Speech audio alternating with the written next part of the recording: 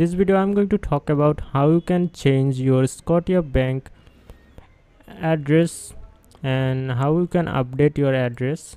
So you can update your profile mailing address online. So just sign in to online banking. So just sign in to online banking. Go to manage your account. Then click on next to profile mailing address and select update you can also update your account mailing address. Just to manage my account go to mailing address for account. Just select update and update your mail.